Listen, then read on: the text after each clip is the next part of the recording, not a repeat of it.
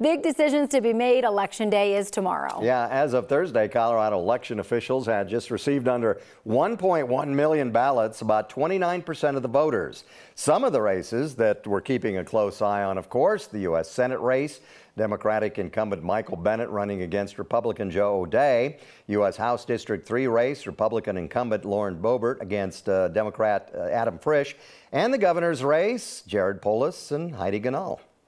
There are lots of important state ballot measures, uh, local ballot measures too, to name a few. Proposition FF, that has to do with school meals, healthy school meals for kids. 121 covers state income tax, decriminalization of psychedelic plants, that's 122. Alcohol and uh, sales and delivery on the ballot in three different propositions. Polls are open until 7 p.m. on election day tomorrow. You just need to be in line by then. Election workers will stay there until everyone who's in line by 7 has voted. If you need a ride to the polls, RTD is waiving fees to encourage people to get out and vote. 9 News has a complete voting guide where you can see ahead of time what's on your ballot. You can find that on our 9 News app and on 9news.com. Election day isn't a federal holiday, so businesses aren't required to close or give their employees time to vote. So this morning we want to hear from you. Should people get the day off of work to vote? Yes. I say yes. Agreed. Yeah.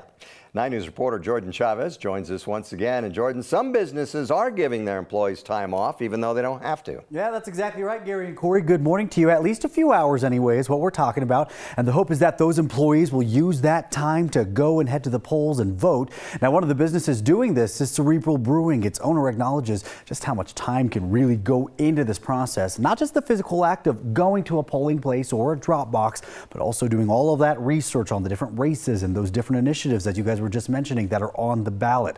Well, the latest numbers we have from the Secretary of State's office show nearly 1.1 million Coloradans have already voted. As of Thursday, we do expect to get an updated count, though, this afternoon. And of course, that includes at least one Cerebral employee, Jim McElveny, who says he wanted to take advantage of the time he was given to go cast his vote because he knows the results will have a pretty big effect for years to come. Cerebral's head brewer, Sean Buchan, says they know how important it is to vote and also how difficult it can be for those employees to find the time. So, um, you know, realizing that our employees live like very active lives and have a lot going on, but still want to take part in this, we just uh, chose to like give them the opportunity to vote essentially on the clock, like, you know, mark that you voted and we pay you for up to two hours for that. So Cerebral's owner says employees can use that paid time off anytime until election day to vote. By the way, though, it is state law that employers give workers at least two hours on election day to head to the polls and vote, guys. I never knew that. I didn't know that either. Yeah. Well, that's a good thing. And yeah.